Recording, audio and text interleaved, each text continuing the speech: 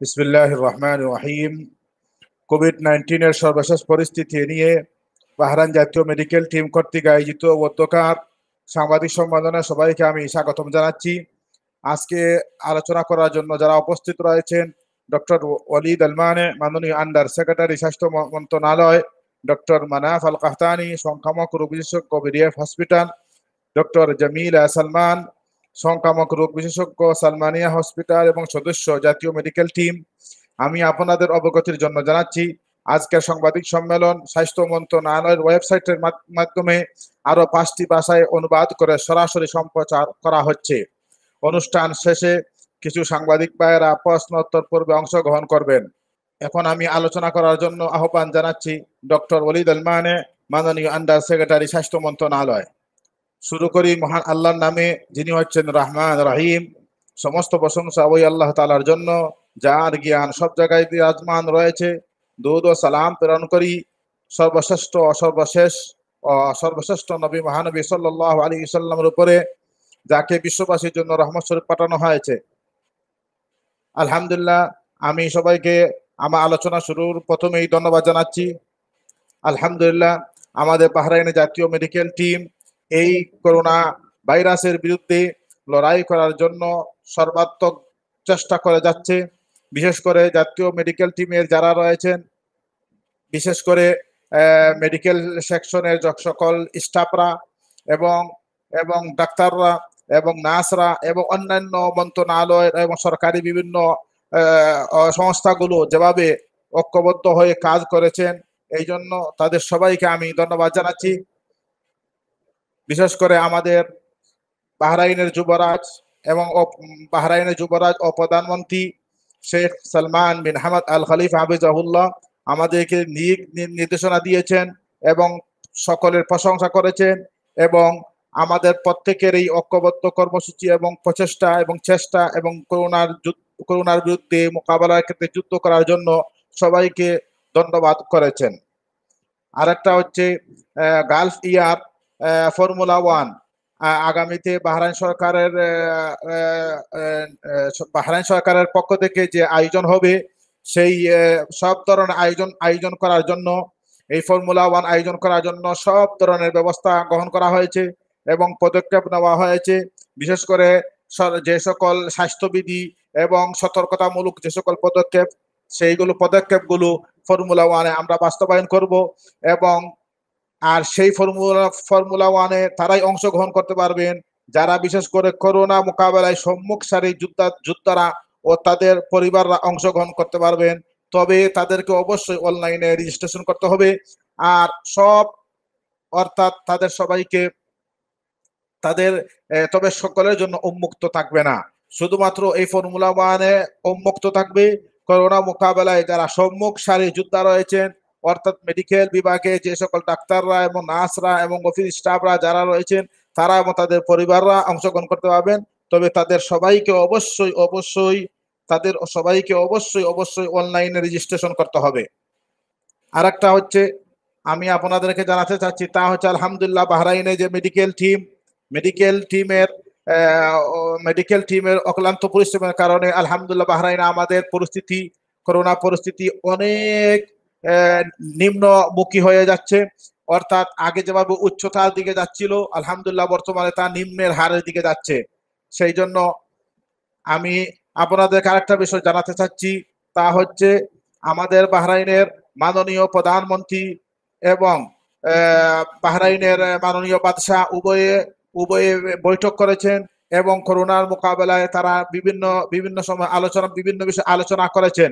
বিশেষ করে জালালাতুল মালিক Hamad bin ঈসা আল খলিফ হাফিজাহুল্লাহ, আমাদেরকে বিশেষ করে বাহরাইনে যারা রয়েছেন, সকল বাসিন্দারা এবং নাগরিকরা, সবাই আলহামদুলিল্লাহ যেই ভ্যাকসিন বের হবে, ওই ভ্যাকসিনে সবাই ফ্রি ভাবে গ্রহণ করতে পারবেন এবং মাননীয় বাদশার পক্ষ থেকে ঘোষণা দেওয়া হয়েছে যে এটা ফ্রি ভাবে সবাই গ্রহণ করতে পারবে। আরেকটা হচ্ছে আলহামদুলিল্লাহ বাহরাইনে, বাহরাইন আবেদন করে রেখেছে। অর্থাৎ যেই সকল ভ্যাকসিন ইন্টারন্যাশনাল ভাবে বের হচ্ছে, ওই সকল ভ্যাকসিনগুলো বিশ্বের মধ্যে যে সকল যতগুলি ভ্যাকসিন নিয়ে বিশ্বের মধ্যে কাজ হচ্ছে, এই সকল ভ্যাকসিন যেটা বিশ্ব স্বাস্থ্য সংস্থার অনুমতি দিবে, সেই সকল ভ্যাকসিনগুলো নেওয়ার জন্য বাহরাইন সরকার প্রায় দশ লক্ষ ভ্যাকসিন গ্রহণ করার জন্য আবেদন করে রেখেছে বিগত আগস্ট মাস থেকেই। আশা করি যে সকল দেশ ভ্যাকসিন পাবে তার মধ্য থেকে বাহরাইন সর্বপ্রথম ভ্যাকসিন গ্রহণ করবে। আর একটা হচ্ছে, আমি বাহরাইনের মেডিকেল সেকশনের অর্থাৎ যে সকল অভিজ্ঞ ডাক্তাররা রয়েছেন এবং যে সকল স্পেশালিস্ট ডাক্তাররা রয়েছেন তারা যেভাবে বাহরাইনের সকলের জন্য তারা কাজ করছেন, সেই জন্য আমি তাদের সবাইকে ধন্যবাদ জানাচ্ছি এবং বিশেষ করে তারা যেভাবে আলহামদুলিল্লাহ এই করোনা মোকাবেলায় আলহামদুলিল্লাহ, আমরা তাদের সকলে ঐক্যবদ্ধ চেষ্টার কারণে বর্তমানে প্রায় আমরা দুই মিলিয়ন, অর্থাৎ বিশ লক্ষ টেস্ট সম্পূর্ণ আমরা করেছি টেস্ট করেছি। আলহামদুলিল্লাহ, এই যে বর্তমানে বাহরাইনে আমরা এই এতদিনের ভিতরে বিশ লক্ষ টেস্ট করেছি, এটা হচ্ছে বাহরাইনের একটা উল্লেখযোগ্য উল্লেখযোগ্য একটি অর্থাৎ উল্লেখযোগ্য একটি দিক, যা হচ্ছে সফলতা, আমি বলব, আলহামদুলিল্লাহ, বাহরাইনের যেটা ইন্টারন্যাশনাল ভাবে আন্তর্জাতিক ভাবে বাহরাইন, সফলতা, যে সকল দেশ সফলতা অর্জন করেছে, তার মধ্যে একটি হচ্ছে বাহরাইন দেশ। আর একটা হচ্ছে এই সফলতা এই সফলতা শুধুমাত্র বাহরাইনের সকল ডাক্তাররা এবং নার্সরা করেন নাই মেডিকেল বোর্ডরা করে নাই, এটা আলহামদুলিল্লাহ আমাদের সকলের ঐক্যবদ্ধ এবং সকল নাগরিক ও বাসিন্দারা সকলে আমরা চেষ্টা করেছি, আলহামদুলিল্লাহ এই জন্য আল্লাহর পক্ষ থেকে সাহায্য এবং সকলে ঐক্যবদ্ধ সাহায্যের মাধ্যমে আমরা এই নিম্নের হারের চলে গিয়েছি। আলহামদুলিল্লাহ। আরেকটা হচ্ছে, বিশেষ করে করোনা মোকাবেলায় যারা সম্মুখদারী সম্মুখ সারি যারা যোদ্ধা রয়েছেন, তাদের আমি আন্তরিক অভিনন্দন জানাচ্ছি এবং তাদের প্রতি আমি কৃতজ্ঞতা প্রকাশ করছি এবং সকলের প্রতি আমি কৃতজ্ঞতা প্রকাশ করছি। আরেকটা হচ্ছে ইন্টারন্যাশনাল ভাবে আন্তর্জাতিক ভাবে যে সকল নির্দেশনা রয়েছে, সেই সকল নির্দেশ, বিশেষ করে যে সকল আ- আরেকটা হচ্ছে আমাদের লন্ডন অর্থাৎ যুক্তরাজ্য এবং যুক্তরাষ্ট্র, তারা ঘোষণা দিয়েছেন যে তাদের দেশে যে অন্যান্য বিভিন্ন দেশের নাগরিকরা অতিক্রম করলে, ভ্রমণ করলে তাদের টেস্ট করতে হয়। কিন্তু আলহামদুলিল্লাহ যুক্তরাজ্য, যুক্তরাষ্ট্র তারা বলেছেন, বাহরাইনের নাগরিকরা যদি, বাসিন্দারা যদি যুক্তরাষ্ট্র ও যুক্তরাজ্যে সফর করেন, তাহলে তাদের আর কোনো করোনা নেগেটিভের টেস্টের প্রয়োজন নেই এবং তাদের সফরকে নিরাপদ বলে এবং তাদের ভ্রমণকে নিরাপদ বলে মনে করেছেন। আলহামদুলিল্লাহ আমি বলব এটা হচ্ছে আমাদের সকলের চেষ্টা। আমি আপনাদের সামনে এখন আলোচনা করব। বর্তমানে আমাদের বাহরাইনে মেডিকেল সক্ষমতা কতটুকু রয়েছে, সেই বিষয়ে আলহামদুলিল্লাহ আমাদের এ পর্যন্ত বাহরাইনে সিট রয়েছে প্রায় সাত হাজার সিট এর মধ্যে অর্থাৎ বাহরাইনে সাত হাজার সিটের মধ্যে মাত্র পাঁচশত সিট ব্যবহৃত হচ্ছেন আলহামদুলিল্লাহ আর যারা ঐচ্ছিকভাবে, ঐচ্ছিক হোম আইসোলেশনে যারা রয়েছেন, এদের সংখ্যা হচ্ছে এক হাজার চারশত জন। এ পর্যন্ত বর্তমানে বাহরাইনে সুস্থ হয়েছেন। আলহামদুলিল্লাহ, বাহরাইন এ পর্যন্ত একশো পার্সেন্টের মধ্যে নাইনটি সেভেন পয়েন্ট সেভেন আলহামদুলিল্লাহ, সুস্থ হয়েছেন, যা হচ্ছে আটানব্বই পার্সেন্টের কাছাকাছি। আলহামদুলিল্লাহ, আমরা বর্তমানে লক্ষ্য করছি, বাহরাইনে অনেক যথেষ্ট করোনার আক্রান্তের নিম- নিম- হারের দিক থেকে অনেক নিম্নে যাচ্ছে এবং প্রতিদিনই আলহামদুলিল্লাহ সুস্থদের সংখ্যা বেশি বৃদ্ধি পাচ্ছে এবং আক্রান্তদের সংখ্যা কমের দিকে যাচ্ছে। আলহামদুলিল্লাহ এই নিম্ন হারের আনার জন্য বিশেষ করে বাহরাইনের জাতীয় মেডিকেল টিমের সকল সদস্যরা অক্লান্ত পরিশ্রম করেছেন। আমি আমার বক্তব্য শেষ করার আগেই সর্বশেষে বলব, আমরা প্রত্যেকেই এইভাবেই, যেভাবে আমরা সতর্কতামূলক পদক্ষেপ গ্রহণ করছি, স্বাস্থ্যবিধি বা স্বাস্থ্য বিধিগুলো মেনে চাল, চলে চলেছি। এভাবে আমি আমি বলব সবার কাছে অনুরোধ করব আমরা অবশ্যই সতর্কতামূলক পদক্ষেপ অনুসরণ করব। আমি আমার আলোচনা শেষ করে দিচ্ছি। আপনাদের সামনে এখন আলোচনা করবেন আমাদের সহকর্মী ডক্টর মানাফ আল কাহতানি ধন্যবাদ আমাদের মাননীয় আন্ডার সেক্রেটারিকে আলহামদুলিল্লাহ, আমি আপনাদেরকে সামনে আলোচনা করব যে যে আলহামদুলিল্লাহ আল্লাহ তালার প্রশংসা এবং আল্লাহর অনুগ্রহের মাধ্যমে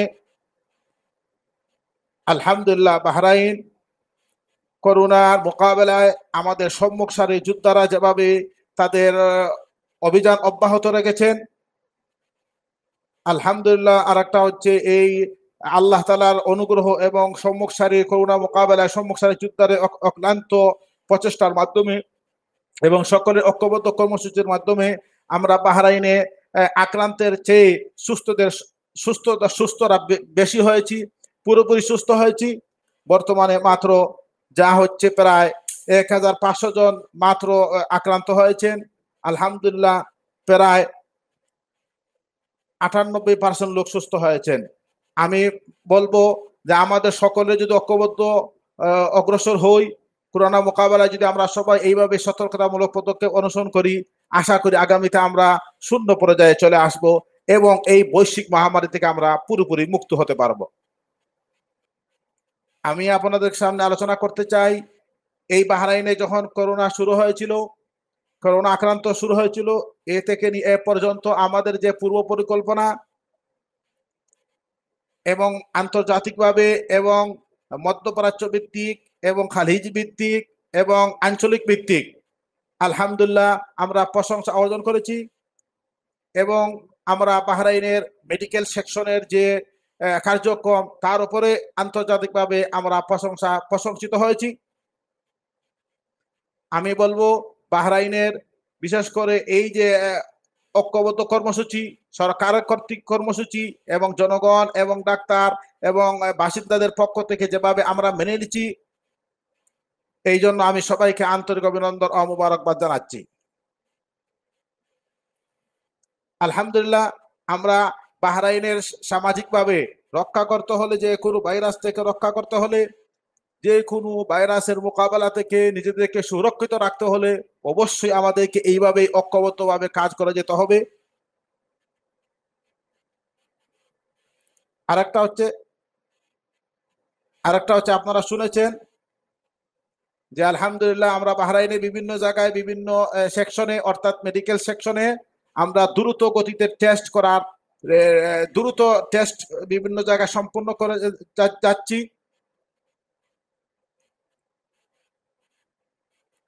আরেকটা হচ্ছে আমরা এই যে রেপিড টেস্ট যেটা, অর্থাৎ দ্রুত টেস্ট সেটা শুধুমাত্র করা হবে ইমার্জেন্সি ভাবে এবং এই রেজাল্টটি তার উপরে নির্ভর করা হবে না। তা শুধুমাত্র প্রাথমিক ধারণা অর্জন করা যাবে। তারপরে আপনাকে অবশ্যই বাহরাইনে যা- কোনো হেলথ সেন্টারে গিয়ে আপনাকে টেস্ট করতে হবে পিসিআর টেস্ট এবং সেই পিসিআর টেস্টটি বিএওয়ার অ্যাপ্লিকেশনের মাধ্যমে আপনাকে জানিয়ে দেওয়া হবে। আরেকটা হচ্ছে, এই আমরা আবার নতুন করে আমরা একটি কাজ শুরু করছি, তা হচ্ছে কেউ যদি দ্রুত রেবিড টেস্টে অংশগ্রহণ করেন অথবা নিজে ব্যবহার করেন, নিজে ব্যবহার করে টেস্ট করেন, তাহলেও তাও আপনি যে কোনো হসপিটালের মাধ্যমে বিএওয়ার অ্যাপ্লিকেশনের মাধ্যমে আপনার রেজাল্টটা জানাতে পারেন। আরেকটা হচ্ছে এই র্যাপিড টেস্টটি মাধ্যমে আপনাকে সান্ত্বনা দিবে। তবে এই র্যাপিড টেস্ট অর্থাৎ দ্রুত টেস্ট আপনাকে পুরোপুরি সান্ত্বনা দিবে না। যতক্ষণ পর্যন্ত আপনি পিসিআর টেস্ট গ্রহণ না করবেন। এই পিসিআর টেস্টটির মাধ্যমে আপনি আক্রান্ত না আক্রান্ত নয়, আপনার রেজাল্ট পজিটিভ না নেগেটিভ যখন আসবে, সেটাই হবে। তার উপরেই আমাদেরকে নির্ভর করতে হবে এবং সেটাই হবে কার্যকরী রেজাল্ট আর একটা হচ্ছে আলহামদুলিল্লাহ, আমরা যেভাবে বাহরাইনকে সামাজিকভাবে সচেতন হয়েছি, ব্যক্তিগতভাবে যেভাবে সচেতন হয়েছি, সেই জন্য আমি সবাইকে আন্তরিক অভিনন্দন জানাচ্ছি। আর হচ্ছে, যদি আপনার যদি রিপিট টেস্টের মাধ্যমে রেজাল্ট এসে যায় পজিটিভ, অর্থাৎ আপনি আক্রান্ত হয়েছেন, পজিটিভ যদি আসে, তাহলে অবশ্যই আপনাকে ফোর ফোর ফোর নম্বরে জানাতে হবে। এবং তারপরে আমরা আপনার কাছ থেকে পিসিআর এর টেস্ট নেব।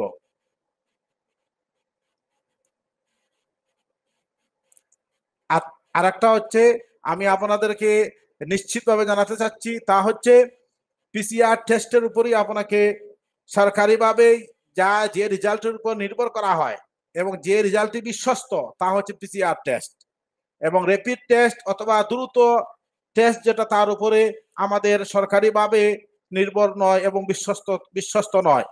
যদি র্যাপিড টেস্ট যদি রেজাল্ট আপনার কি হয়, তাহলে অবশ্যই আপনাকে ফোর ফোর নম্বরে জানাতে হবে।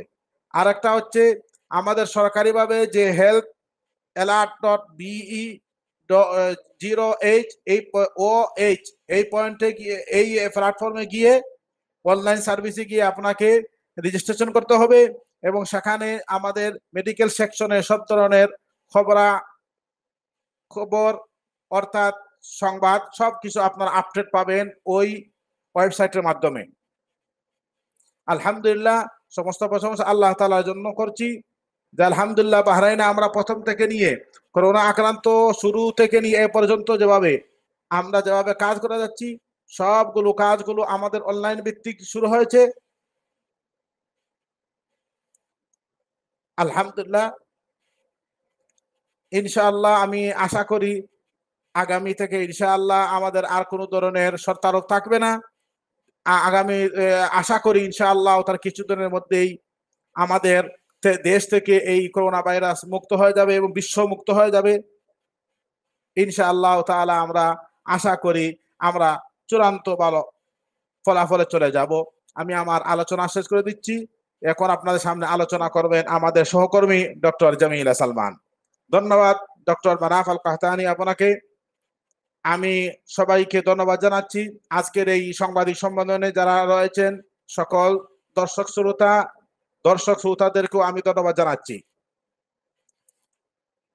আলহামদুলিল্লাহ, আমি বিশেষ করে ধন্যবাদ জানাচ্ছি, আন্তরিক অভিনন্দন ও মুবারকবাদ জানাচ্ছি করোনা মোকাবেলায় সব মুক্তারি যোদ্ধাদের জন্য এবং ডাক্তারদের জন্য এবং মেডিকেল সেকশনের মেডিকেল বিভাগের সকল স্টাফদেরকে আমি ধন্যবাদ জানাচ্ছি। আলহামদুলিল্লাহ, বিশেষ করে বাহরাইনের নাগরিক ও বাসিন্দাদেরকে আমি ধন্যবাদ জানাচ্ছি। এই জন্য যে আলহামদুলিল্লাহ আমরা যে করোনা ভাইরাসের সেখানে যে অংশগ্রহণ নিম্নে হারের দিকে যে যাচ্ছে সেই জন্য সবাইকে আমি ধন্যবাদ জানাচ্ছি। আর একটা হচ্ছে, আগামীতে যে শুরু হবে বাহরাইনে, গালফ ইয়ার ফর্মুলা ওয়ান, সেই রেসের ক্ষেত্রে বাহরাইন সরকারের যে শুধুমাত্র করোনা মোকাবেলায় সম্মুখদারী যোদ্ধাদের জন্য তাদের পরিবারের জন্য সীমিত করে অনুমতি দিয়েছেন। সেই জন্য সরকারের প্রতি সকল ডাক্তারদের পক্ষ থেকে আমি ধন্যবাদ জানাচ্ছি। আলহামদুলিল্লাহ।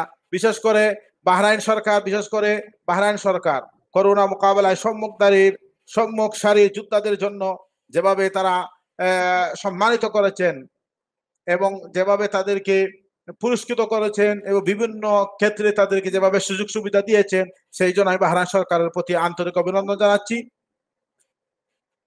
আলহামদুলিল্লাহ, বিশেষ করে বিগত বিগত মাস সময়ে বাহরাইনের স্বাস্থ্য মন্ত্রণালয় ইন্টারন্যাশনাল ভাবে আন্তর্জাতিক ভাবে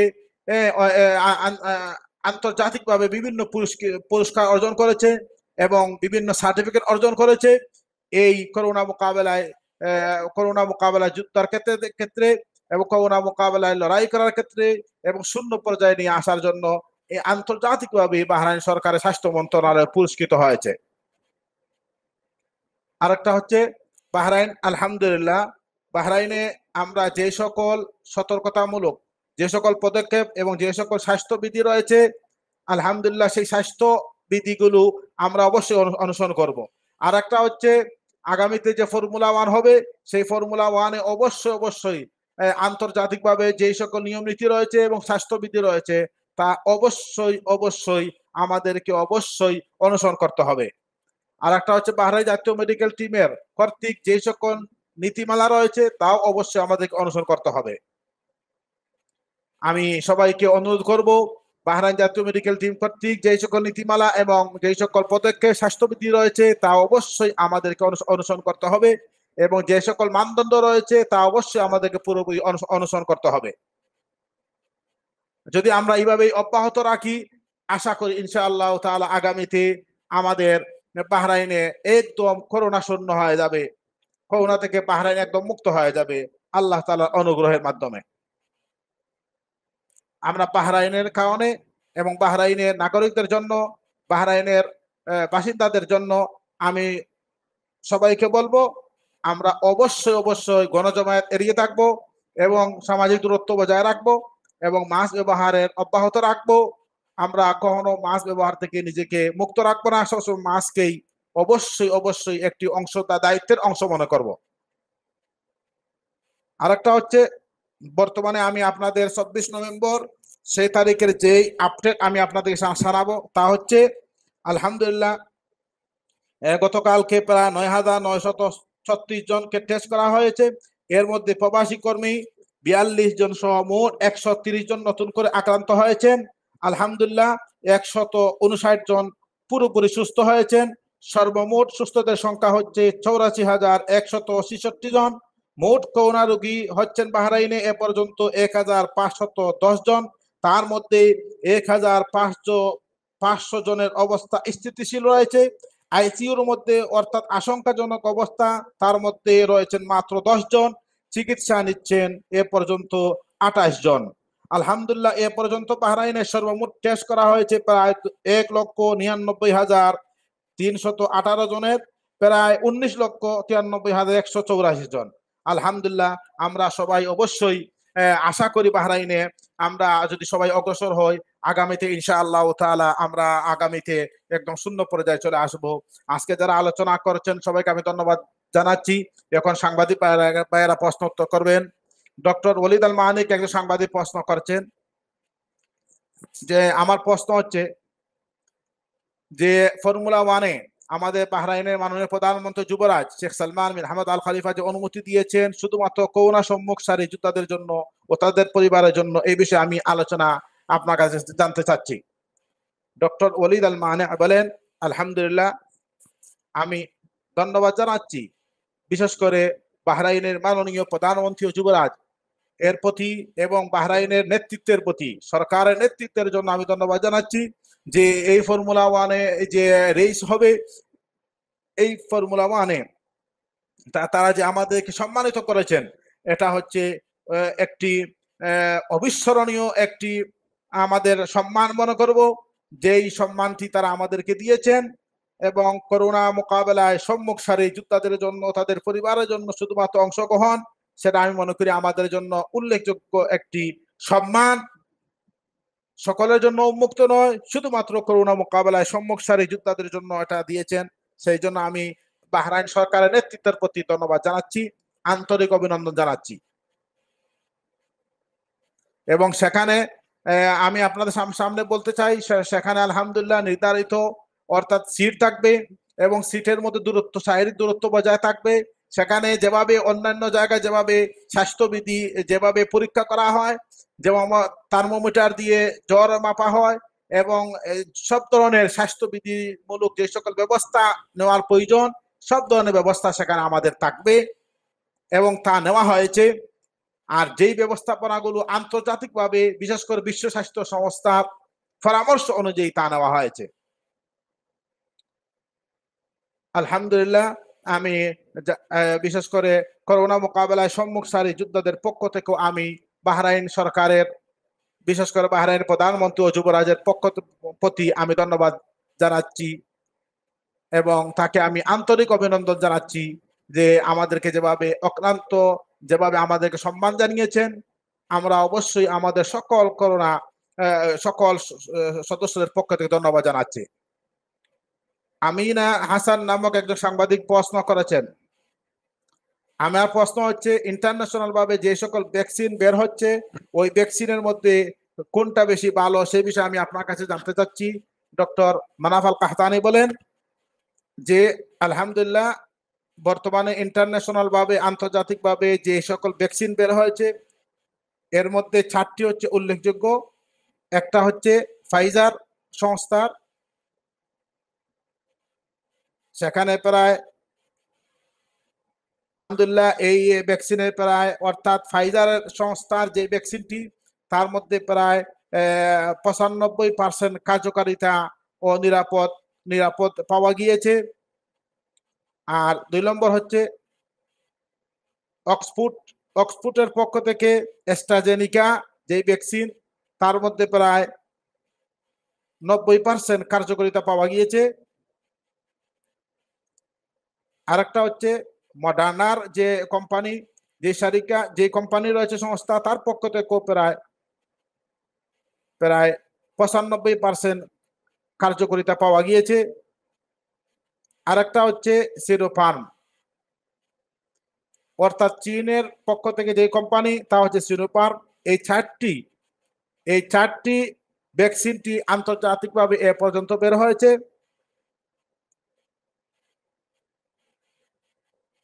আরেকটা হচ্ছে সর্বশেষ যেটা যেটা বর্তমানে বাজারে পাওয়া যাচ্ছে, তা হচ্ছে রাশিয়ার স্পুটনিক ফাইস এর কার্যকারিতা প্রায় ছিয়ানব্বই পার্সেন্ট পাওয়া গিয়েছে। এই সকল ভ্যাকসিনগুলো যখন আশা করে আগামী ডিসেম্বর অথবা জানুয়ারিতেই বের হয়ে যাবে এবং বিশ্বব্যাপী তা ছড়িয়ে পড়বে এবং আলহামদুলিল্লাহ আশা করি বাহরাইনও আমরা ওই সকল ভ্যাকসিন আমরা নিয়ে আসব। আর আমি আপনাদেরকে আগেই বলেছি, দশ লক্ষ ভ্যাকসিনের আমরা অর্ডার দিয়েছি।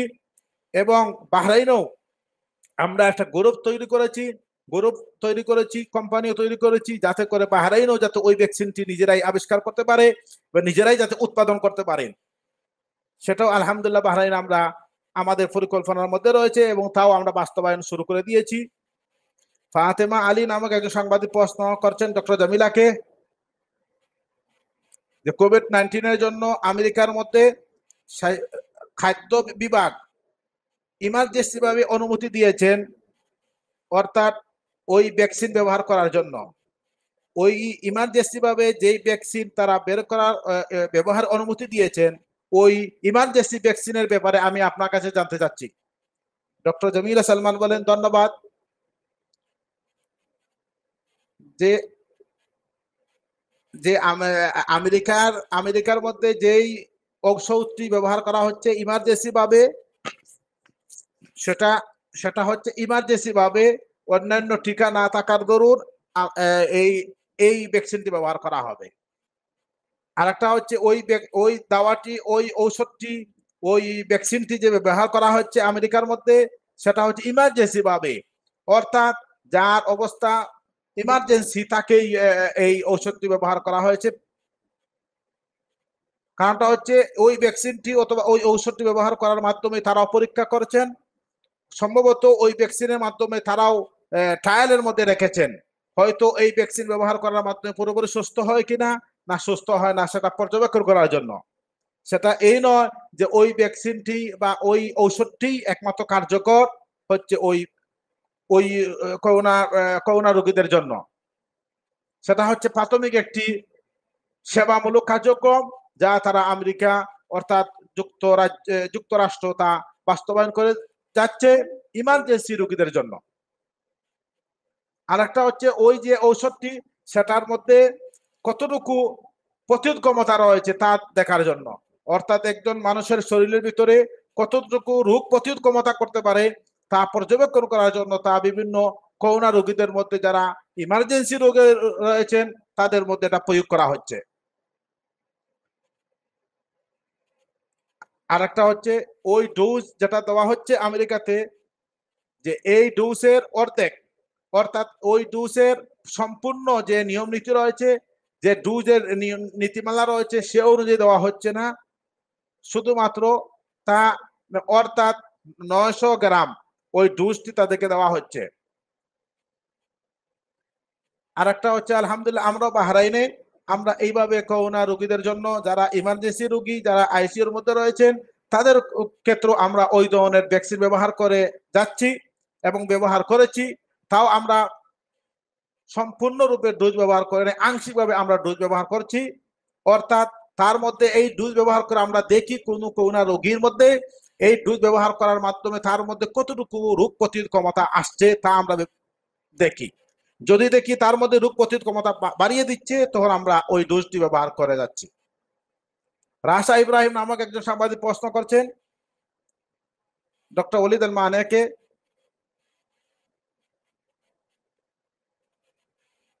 যে আন্তর্জাতিকভাবে বর্তমানে যে ভ্যাকসিন বের হচ্ছে ওই ভ্যাকসিনটা কি শুধুমাত্র জীবনে একবার ব্যবহার করা হবে না বারবার ব্যবহার করা হবে? ডক্টর মানাফ আল কাহতানি বলেন যে আসলে ওই ভ্যাকসিনটি যেটা, সেটা হচ্ছে দুইবার ডোজ দেওয়া হবে। সেটা হবে কোন কোন ভ্যাকসিনের মধ্যে একবার ডোজ দেওয়া হবে। আর অধিকাংশ যে ডুকসুন যে ভ্যাকসিন বের হচ্ছে অধিকাংশটি হচ্ছে দুইবার করে ডোজ অর্থাৎ প্রথম সপ্তাহে সেই ডোজগুলো তাকে আমরা প্রতিদিন তাকে কি করা হবে? পর্যবেক্ষণ করা হবে। এবং তাকে ফলো আপ করা হবে। তারপরে পরের সপ্তাহে তাকে নিয়মিত তাকে ফলো আপ করা হবে।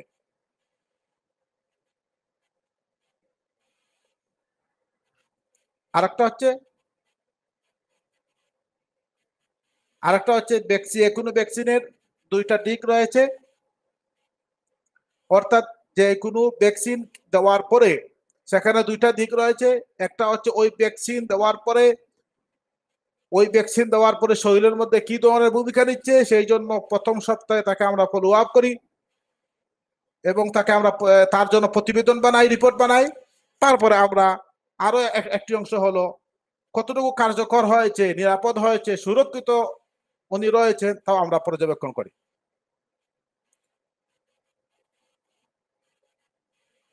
আগামী কিছুদিনের ভিতরেই আমরা যে ভ্যাকসিন নিয়েছি বাহরাইনে, তার রেজাল্ট কি রকম এবং তার ফলাফল কি রকম, সেটা ইনশাল্লাহ কিছুদিনের ভিতরে আমরা আপনাদেরকে জানাব। ওকালত আম্বাইল বাহরাইনের পক্ষ থেকে ডক্টর ওলিদ আল মানেকে প্রশ্ন করছেন, আলহামদুলিল্লাহ, বাহরাইনে করোনা আক্রান্তদের সংখ্যা কম, কিন্তু বাহরাইনে যে নিয়মিত টেস্ট করা হয় তা হচ্ছে অনেক, এর কারণটা কি? ডক্টর ওলিদ আল মানে বলেন, ধন্যবাদ আপনাকে প্রশ্ন করার জন্য। আরেকটা হচ্ছে বাহরাইনে, আমরা শুরু থেকে নিয়ে এ পর্যন্ত আমাদের যে টেস্ট করা হচ্ছে, এই টেস্ট আমাদের পূর্ব থেকে যেভাবে প্রথমে যে টেস্ট করা হয়েছিল তা থেকে প্রতিদিনই আমরা বৃদ্ধি করছি। কেননা, যে করোনা আক্রান্ত সংখ্যা কমে গেলেও যে টেস্ট কমিয়ে ফেলতে হবে তা নয়। বরং করোনা টেস্ট এটা অব্যাহত রাখতে হবে, যাতে করে কোথাও এই করোনার ভাইরাসটি ছড়িয়ে না পড়ে। সেই জন্য আমরা আমাদের টেস্ট যেভাবে প্রতিদিন দশ হাজার, এগারো হাজার, বারো হাজার লোকদের টেস্ট করা, সেটা আমাদের অব্যাহত রয়েছে এবং আকস্মিক আকস্মিক টেস্ট মোবাইল ইউনিটের মাধ্যমে আমরা বিভিন্ন জায়গায় টেস্ট করে যাচ্ছি, তাও সেই টেস্ট আমাদের অব্যাহত থাকবে। আলহামদুলিল্লাহ আমাদের উদ্দেশ্য হলো যে বাহরাইনের যে কোনো জায়গায় যাতে করোনা ভাইরাস যাতে ছড়িয়ে না পড়ে বিস্তার যাতে লাভ না করে, সেই জন্য আমরা বিভিন্ন জায়গায় মোবাইল ইউনিটের মাধ্যমে টেস্ট অব্যাহত রেখেছি। আরেকটা হচ্ছে, একদম যদি শূন্য পরে যদি চলে আসে, তারপরও আমরা আমাদের টেস্ট অব্যাহত রাখব। কেননা, আমরা সেটা কখনো তুলনা করা যাবে না যে আক্রান্ত যেহেতু তুলনা আক্রান্তদের সংখ্যা যেহেতু কম, সুতরাং আমাদেরকেও টেস্টের কমিয়ে ফেলতে হবে।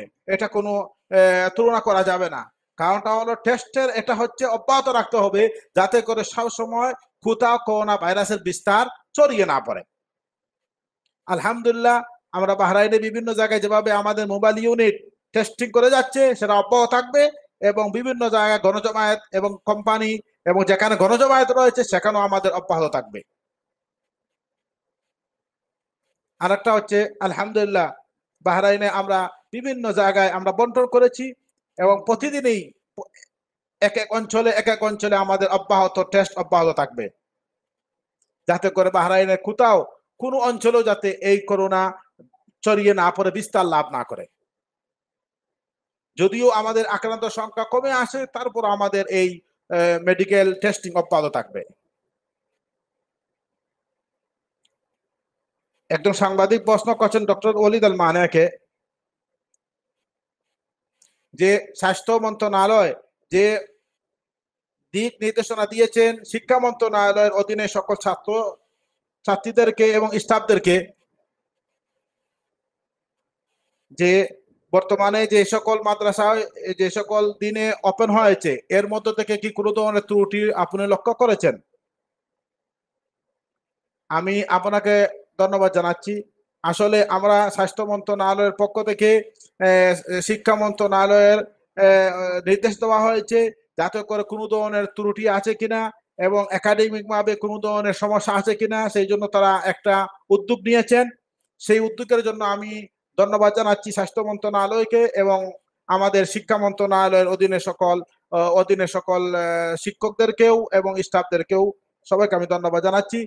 এই জন্য যাতে করে সং, এই যে আমরা শিক্ষা মন্ত্রণালয়, আমাদের অধীনে যে সকল মাদ্রাসায় শিক্ষ- শিক্ষকদের আমরা টেস্ট করছি র্যাপিড টেস্টিং অথবা দ্রুত টেস্টিং করছি, সেটা হচ্ছে যাতে করে শিক্ষকদের মধ্যেও, ছাত্রছাত্রীদের মধ্যেও যাতে কখনো করোনা ভাইরাসের সংক্রমণ না দেখা যায়, সেই জন্য আমরা তাদের মাঝে এই টেস্টিং অব্যাহত রেখেছি। আর একটা হচ্ছে যে কোনো ফার্মেসিতেও আপনারা এই র্যাপিড টেস্টিং অর্থাৎ দ্রুত টেস্ট করতে পারেন। যেভাবে আমরা মাদ্রাসাগুলোতে আমরা টেস্ট করেছি সরকারের পক্ষ থেকে এবং স্বাস্থ্য মন্ত্রণালয়ের পক্ষ থেকে। এই টেস্টের মাধ্যমে প্রাথমিক একটি ধারণা নেওয়া যে যাতে করে মোটামুটি আমরা সব জায়গা থেকে করোনা মুক্ত হইতে পারি। আর একটা হচ্ছে স্বাস্থ্য মন্ত্রণালয়ের পক্ষ থেকে শিক্ষা মন্ত্রণালয়কে নির্দেশ দেওয়া হয়েছে তারা যেন তাদের শিক্ষকদের বসার ক্ষেত্রেও, ছাত্রছাত্রীদের ক্লাস নেওয়ার ক্ষেত্রেও যাতে সুরক্ষা বিধিগুলো অনুসরণ করা হয় এবং আসনগুলোকে যাতে নিয়মিত পরিচ্ছন্ন রাখা হয়। আরেকটা হচ্ছে আরেকটা হচ্ছে কোনো ব্যক্তির কোনো ছাত্রছাত্রী অথবা কোনো সদস্যদের মধ্যে যদি কখনো কোনো করোনার রেজাল্ট পজিটিভ আসে, তাহলে অবশ্যই সঙ্গে সঙ্গে আমরা স্পর্শ যারা ছিল তাদেরকে আলাদা করে নেই। এবং তাদের সব কিছু আমরা লিস্টিং করি লিস্ট করি এবং আমাদের ওয়েবসাইটের মাধ্যমে বিএওয়ার ওয়েবসাইটের মাধ্যমে আমরা তাদেরকে আলাদা শনাক্ত করি। এ পর্যন্ত আজকের আমাদের প্রশ্ন উত্তর পূর্ব ছিল। আমি সবাইকে আজকে যারা আলোচনা করেছেন, সবাইকে আলোচক বিন্দুদের সবাইকে আমি ধন্যবাদ জানাচ্ছি। আন্তরিক ও মুবারকবাদ জানাচ্ছি এবং সকল শ্রোতাদেরকে ধন্যবাদ জানাচ্ছি। আজকের অনুষ্ঠান শেষ করার পূর্বে আমি সবাইকে বলব, আমরা অবশ্যই সচেতন হই, অন্যকে সচেতন করে তুলি। السلام عليكم ورحمة الله وبركاته.